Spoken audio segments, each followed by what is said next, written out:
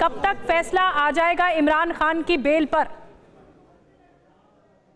देखें इमरान खान को अब कल हेयरिंग होगी। आज इमरान खान की जो सुनवाई थी वो हुई है और उसमें कुछ एतराज़ था। कोर्ट की तरफ़ से लगाया गया वो दूर कर लिया गया और अब लाहौर हाई कोर्ट की तरफ़ से ये कहा गया कि इमरान खान की बेल के ऊपर और 9 मई के बाद जो दंगे हुए सारे मामला के ऊपर हेयरिंग कल तो होगी जिसके बाद इमरान खान लाहौर हाईकोर्ट से निकल गए हैं और कल होगी हेयरिंग जी पर... बिल्कुल। कल हेयरिंग होगी इमरान खान अब। जी बिल्कुल कल हेयरिंग होगी और इमरान खान अब वापस जमान पार्क के लिए निकल चुके हैं और ऑलमोस्ट पहुँच भी चुके हैं जमान पार्क अपने घर बुशरा बीबी के साथ। अब कल बड़ी खबर बड़ी खबर दर्शकों को बता दें आज नहीं आएगा इमरान खान पर फैसला। कल अब इस पर सुनवाई होगी पेशी होगी और उसी दरमियान ये फैसला लिया जा सकता है। क्या इमरान खान को राहत मिलेगी? हाँ लाहौर हाईकोर्ट से बड़ा सवाल है, लेकिन आज फैसला नहीं आएगा। बड़ी खबर, बड़ा अपडेट बता रहे हैं गुलाम अब्बास इस वक्त लाहौर हाईकोर्ट से कि कल हियरिंग होगी इस मामले में इमरान खान की बेल पर।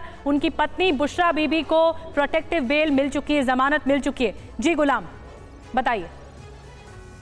जी, बिल्कुल लाहौर हाई कोर्ट की तरफ़ से सुप्रीम कोर्ट का जो आदेश था उसकी कॉपी मांगी गई थी, जो कि आज की हेयरिंग में इमरान खान के लॉयर की तरफ़ से, वकील की तरफ़ से नहीं लगाई गई थी, वो प्रोवाइड कर दी गई है, जिसके बाद लाहौर हाई कोर्ट ने अब ये केस कल के लिए फिक्स कर दिया है। कल इसके ऊपर सुनवाई होगी, जिसके बाद इमरान खान की किस्मत का फैसला होगा कि इमरान खान को बेल मिलती है या नहीं मिलती। तो अब ये सारी नगरें कल होंगी, कल इमरान खान दोबारा लाहौर हाईकोर्ट पहुँचेंगे और अपनी बेल के लिए आएँगे, लेकिन बुशरा बीबी को राहत मिल चुकी है, दस दिन के लिए, तेईस मई तक के लिए उनको राहत मिली और दूसरी बात अब से थोड़ी देर बाद पार्लियामेंट का ज्वाइंट सेशन शुरू होगा। अभी हमने नेशनल असेंबली का सेशन देखा जिसमें एक रेजोल्यूशन भी पास किया गया चीफ जस्टिस के खिलाफ। एक बार फिर से ब्रेकिंग न्यूज़ बता दें।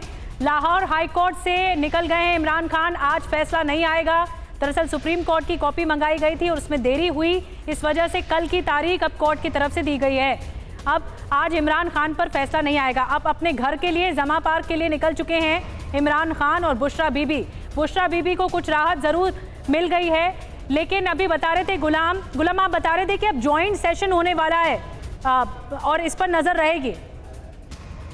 जी, बिल्कुल। अब से एक घंटे बाद पार्लियामेंट का ज्वाइंट सेशन होगा। अपर हाउस और लोअर हाउस दोनों का ज्वाइंट सेशन कॉल किया गया और लग ऐसा रहा है कि जो नेशनल असेंबली में अभी एक प्रस्ताव पास किया गया चीफ जस्टिस के खिलाफ, उसको ज्वाइंट सेशन में भी पास करवाएगी पाकिस्तान की सरकार, ताकि इसके बाद ज्वाइंट सेशन के बाद इसकी एक कमेटी बने और पावरफुल कमेटी हो जो कि रेफरेंस तैयार करे।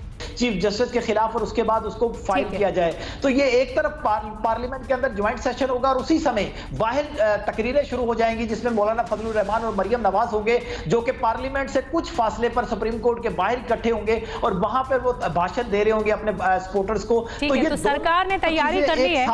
शहबाज सरकार ने तैयारी कर ली है चीफ जस्टिस के खिलाफ ये रेफरेंस लाने की कमेटी बनाने की और इसीलिए ज्वाइंट सेशन भी बुलाया गया है। बहरहाल बहुत बहुत धन्यवाद गुलाम। एक एक पहलू पर बताने के लिए और ब्रेकिंग न्यूज़ सीधे पाकिस्तान से पहुँचाने के लिए। तो इमरान के नाम पर पाकिस्तान में बवाल तो हो रहा है, लेकिन आज इमरान खान की बेल पर फैसला नहीं आया।